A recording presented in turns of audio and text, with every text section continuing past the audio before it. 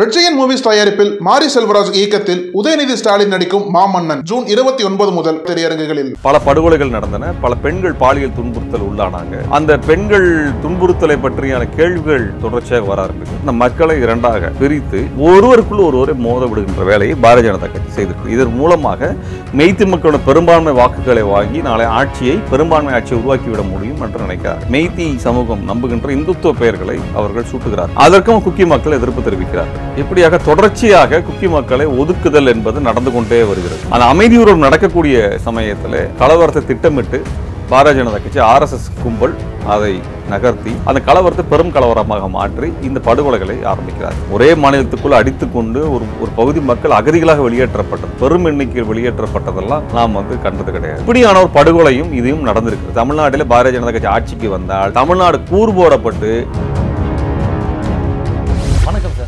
வணக்கம். ஆ, திரும்பும் திசையெங்கும் ஒரே பேச்சு அதாவது மணிப்பூர் கலவரத்தை பற்றி தான் ரெண்டு மாதங்களாக தொடர்ந்து அணையாத எரிஞ்சுக்கிட்டு இருக்குது.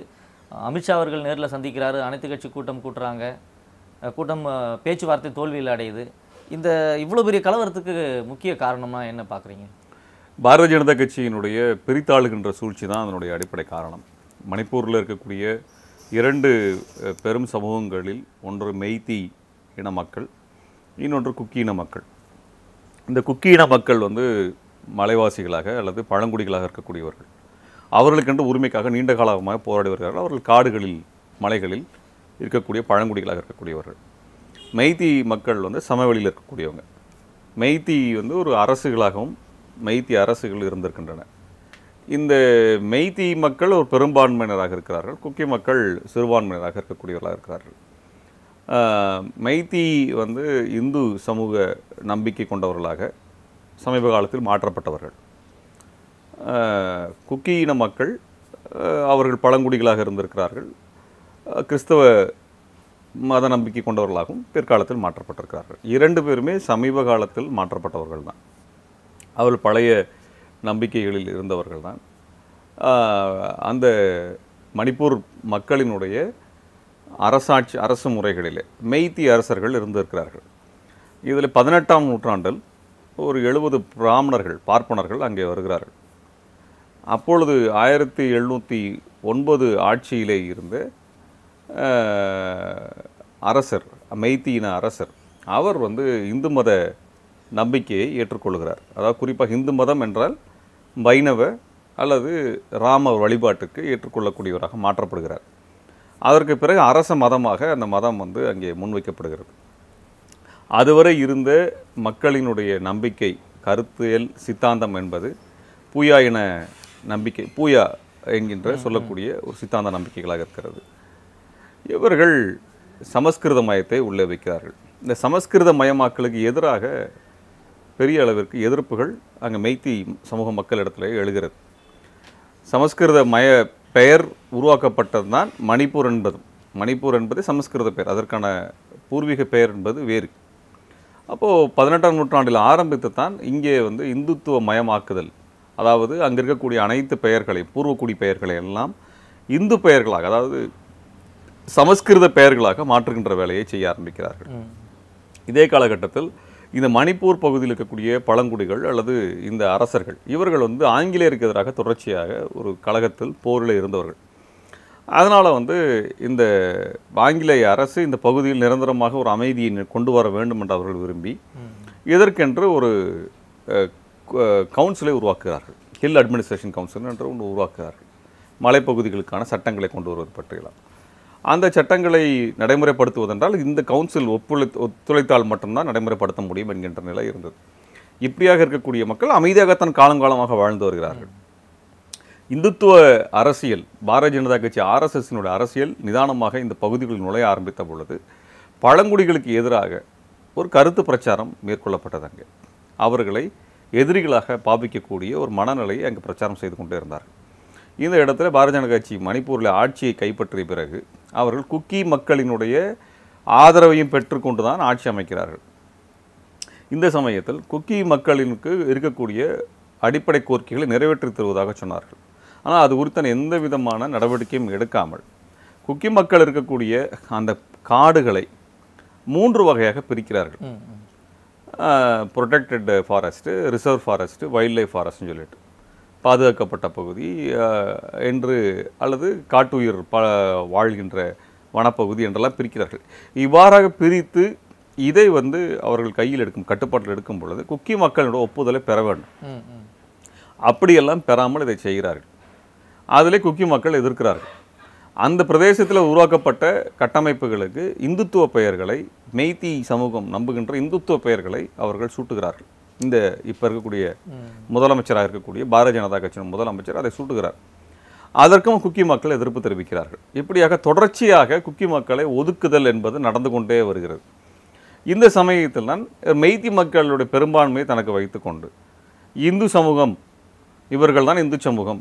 இவர்களுடைய ஆதரவை நாம் வந்து வலுப்படுத்த வேண்டும் என்ற பிரச்சாரத்தை பிரித்தாளுகின்ற வேலையை அவர்கள் செய்கிறார்கள்.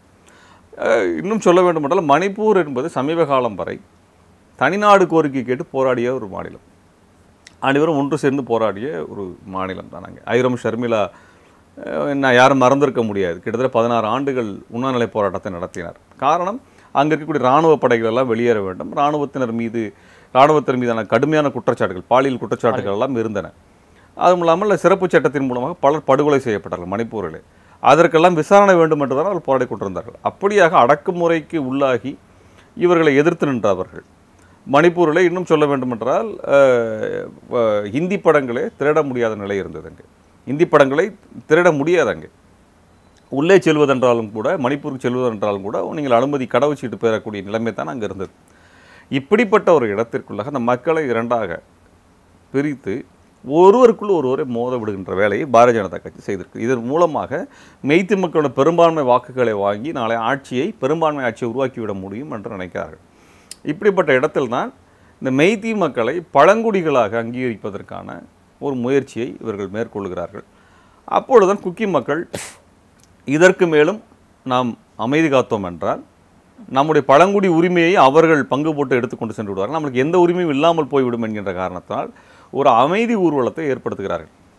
அந்த அமைதி ஊர்வலம் நடக்கக்கூடிய சமயத்தில் கலவரத்தை திட்டமிட்டு பாரதிய ஜனதா கட்சி ஆர்எஸ்எஸ் கும்பல் அதை நகர்த்தி அந்த கலவரத்தை பெரும் கலவரமாக மாற்றி இந்த படுகொலைகளை ஆரம்பிக்கிறார்கள். நாம் கேட்க வேண்டிய கேள்வி என்னன்னா இவர்களுக்கு எப்படி ஆயுதங்கள் கிடைத்தது?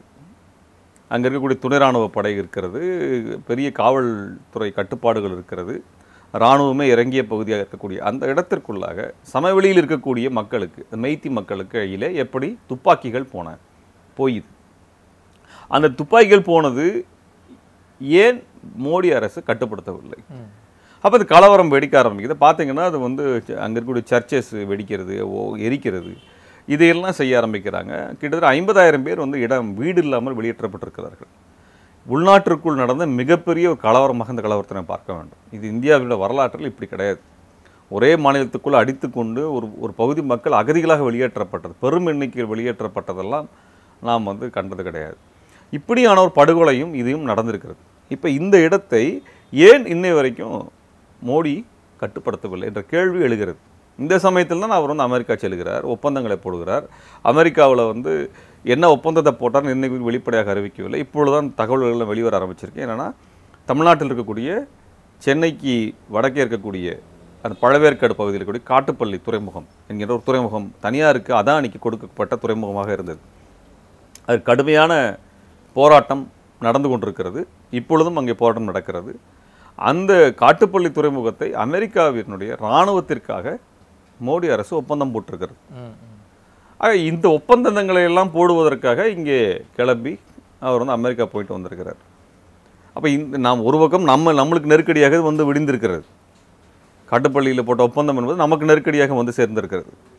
இந்த தகவல்களை பூவுலக நண்பர்கள் அம்பலப்படுத்தி இருக்கிறார்கள் வெளிப்படையாக. இப்படியான ஒரு நிலைமை நாம் எதிர்கொண்டிருக்கிறோம். அதே சமயத்தில் அங்கே மணிப்பூர் மக்களுக்கு இந்த நெருக்கடியை கொடுத்திருக்கிறார்கள். மணிப்பூர் மக்களினுடைய படுகொலை மணிப்பூர் மக்கள் மீது நடத்தப்படுகின்ற அந்த வன்முறை தடுத்து நிறுத்துவதற்கு மோடி எதுவும் செய்யவில்லை. அப்போ இப்படியான ஒரு மோசமான சூழலை நாம் கவனமாக பார்க்கணும். ஏனால் தமிழ்நா தமிழர்கள் இந்த கலவரங்களில் இருந்தெல்லாம் கற்றுக்கொள்வதற்கு என்ன இருக்கிறது என்றால் காஷ்மீரை மோடி அரசு கை வைத்தது ரெண்டாயிரத்தி பத்தொம்போதில்.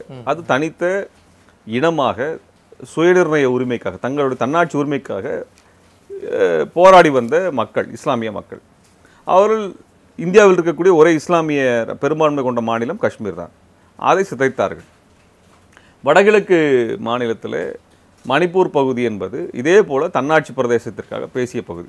இன்னும் சொல்ல வேண்டுமென்றால் இதற்கு இருக்க இருப்பதை போல காஷ்மீருக்கு இருப்பதை போல முந்நூற்றி எழுபது பிரிவு இருப்பதை போல மணிப்பூர் பகுதிக்குமான ஒரு சிறப்பு பிரிவுகள்லாம் உண்டு. சரி அப்போ அந்த பிரிவுகளும் என்ன ஆனதுன்ற கேள்வி. முந்நூற்றி எழுபது முந்நூற்றி எழுபத்தி ஒன்று ஏ என்றெல்லாம் பிரிவுகள் இருக்கிறது. இவை எல்லாமே இந்த பகுதி மக்களினுடைய இறையாண்மை பாதுகாக்கக்கூடிய பிரிவுகள் அரசியல் சாசன பிரிவுகள். இந்த பிரிவுகளை எல்லாம் கொடுத்துத்தான் இந்த மக்களை இந்தியாவோடு இணைத்தார்கள். அதனால தான் இவர்கள் இந்தியாவோடு இணைந்தார்கள். இப்படிப்பட்ட அந்த அந்த உரிமைகளை எல்லாம் இப்பொழுது பாரதிய ஜனதா கட்சி கை வைக்க ஆரம்பித்திருக்கிறது. அதனால் அந்த மக்கள் நெருக்கடி தள்ளப்படுகிறார்கள். அப்போ என்ன ஆகுதுன்னா அவர்கள் இரண்டு குழுக்களாக பிரிந்து தங்களுக்குள் மோதுகின்ற வேலை செய்திருக்கிறார்கள். இதே போலத்தான் காஷ்மீரில் இருந்த பண்டிட்டுகளும் இஸ்லாமியர்களும் மோதுகின்ற வகையில் இவர்கள் பல்வேறு கருத்துக்களை பேசினார்கள். இதற்கு காஷ்மீர் ஃபைல்ஸ்னு ஒரு பொய்யான பய பரப்புரை சினிமா படத்தெல்லாம் எடுத்து வெளியிட்டாங்க. பொய்யான தகவலை இவர்களே பேசினார். அவர் மோடியை வந்து அந்த படத்தை எல்லாம் பாருங்கன்னு சொன்னார். அதில் அப்பட்டமான பொய் தகவல் அடிப்படையில் எழுப்பப்பட்ட ஒரு திரைப்படங்கள் படைப்புகள். அதே போல் அந்த மக்களுக்குள்ளாக பல கலவரத்தை கொண்டு வருவதற்கான முயற்சிகளை இங்கே செய்கிறார்கள் மணிப்பூரில் இது நாளை தமிழ்நாட்டிலும் நடக்கும். இதைத்தான் மே பதினாலுக்கும் நீண்ட காலமாக சொல்லி வருகிறது. இந்த பாரதிய ஜனதா கட்சி கும்பலை ஆர்எஸ்எஸ் கும்பலை ஏன் மே பதினாலுக்கு திரும்ப திரும்ப குற்றம் சாட்டி கொண்டிருக்காங்க? ஏன் தமிழின விரோதிகள்? தமிழர் விரோதிகள்னு சொல்கிறேன்னா தமிழர்களுக்குள்ளாகவே மக்களை கூறு போட்டு அவர்களுக்குள்ளாகவே மோதலை ஏற்படுத்துகின்ற வேலை திட்டப்பட்டு செய்வார்கள். ஏற்கனவே எம்ஜிஆர் ஆட்சி காலத்தில் மண்டைக்காட்டில் இதே போகிற கலவரத்தை தான் செய்தார்கள். தமிழன் தான் ஒருத்தன் ஒருத்தன் அடிச்சுக்கிறான். அப்படிங்கிற ஒரு நிலவை நிலைமையை அவன் உருவாக்குகிறான். இந்த ஆர்எஸ்எஸ்காரன் யார்? தமிழ்நாட்டுக்கு சொந்தம் இல்லாதவன். மகாராஷ்டிராலேருந்து வந்திருக்கிறவன்.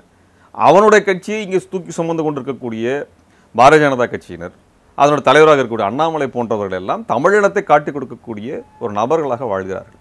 இவர்கள் வந்து இங்கேக்குள்ள ஒரு மோதலை உருவாக்கக்கூடிய வேலையை அவர்கள் செய்கிறார்கள்.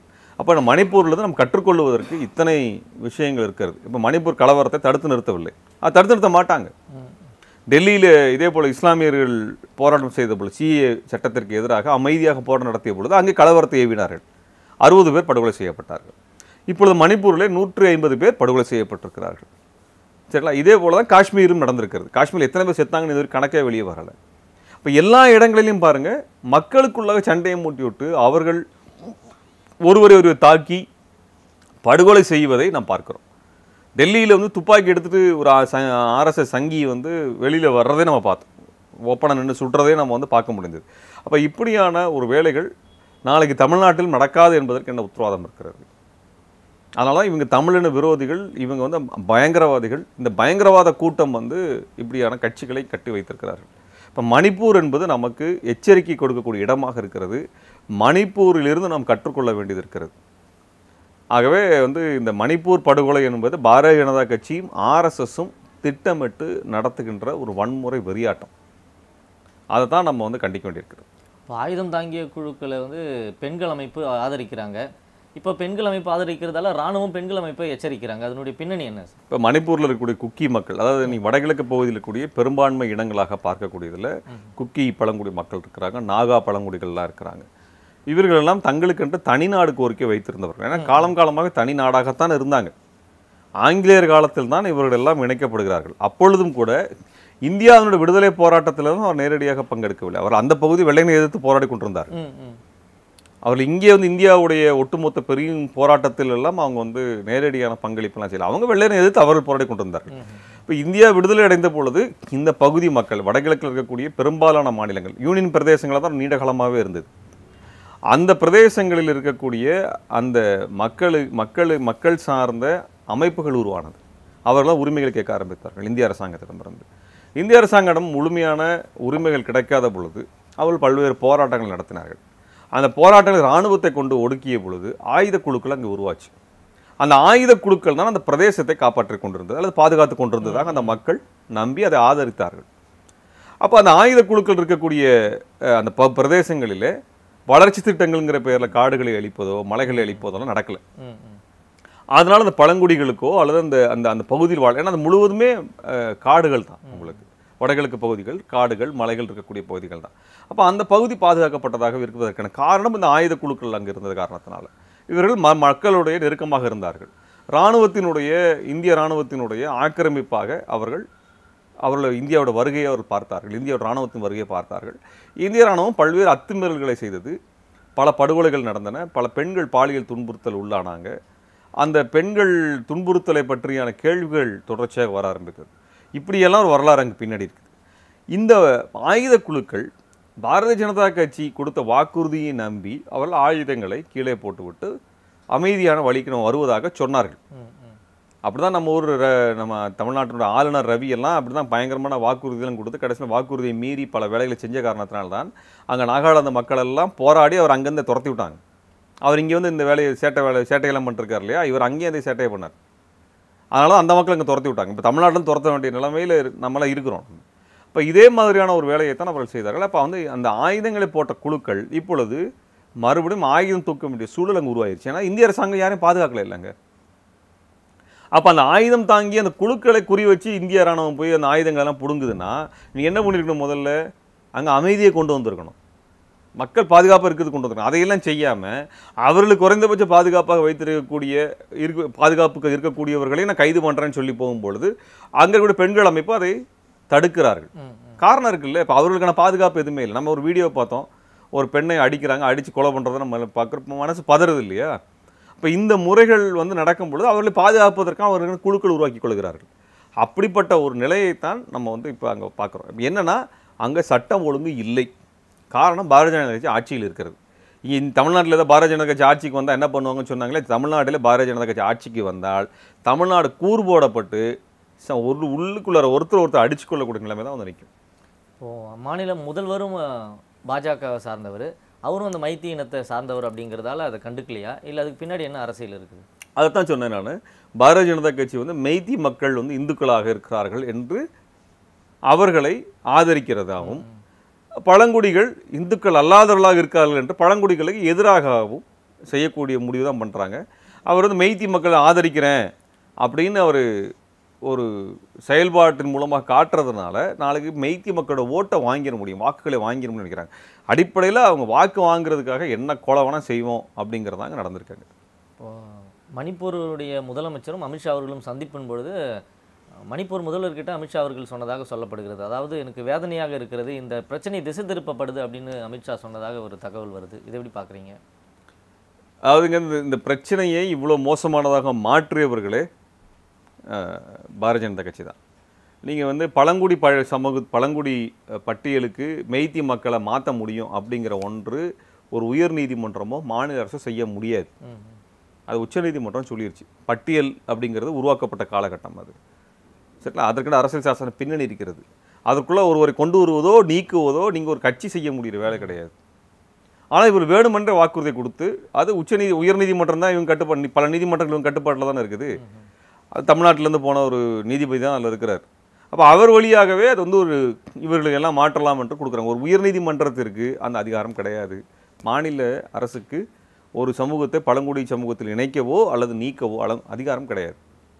பழங்குடி பட்டியல் சமூகத்தில் சேர்க்கவோ நீக்கவோ அதிகாரம் கிடையாது. அப்போ இது வேணுனே அவங்க செஞ்சு கிளப்பி விட்டு சண்டையாக மாற்றி விட்டுருக்குறாங்க. அப்போ வைத்திய மக்கள்கிட்ட அவங்க உரிமையில் வந்து குக்கி மக்கள் எதிராக இருக்கிறாங்கன்னு சொல்லி வைத்திய மக்கள் குக்கி மக்களுக்கு எதிரான ஒரு ஒரு ஒரு என்ன சொல்கிறது கலவர கும்பலாக மாற்றியிருக்கிறார்கள். இதற்கு காரணம் வந்து பாரதிய ஜனதா கட்சியினுடைய முதல்வர் தான். அதற்கு முழு முதன்மையான காரணம். இந்த கலவரத்தில் நூற்றி ஐம்பதுக்கும் மேற்பட்டோர் உயிரிழந்திருக்கிறாங்க மூணாயிரத்துக்கும் மேற்பட்டோர் படுகாயம் அடைஞ்சிருக்கிறாங்க. இதில் குறிப்பாக சர்ச்சுகள் வந்து தாக்கப்பட்டிருக்கு. இரநூத்தி ஐம்பது சர்ச்சுகள் அடித்து உடைச்சிருக்கிறாங்க. இந்த கலவரத்துக்கும் சர்ச்சுக்கும் என்ன சம்பந்தம்? அதுதான் சொன்னேன் இல்லையா? இப்போ வந்து குக்கி மக்கள் இருக்கக்கூடிய பகுதிகளிலே கிறிஸ்தவ மிஷினரிகள் இருந்திருக்கிறாங்க. அவங்க வெள்ளையர் காலத்தில் அவர்கள் கிறிஸ்தவர்களாக மாறி இருக்கிறார்கள் அப்போ அந்த கிறிஸ்தவ ஆலயங்களை அடித்து நொறுக்குவதான் நோக்கமாக வச்சிருக்கு. இவன் தான் மத கலவரம் பண்ணுறதுனே வந்தவனாச்சே.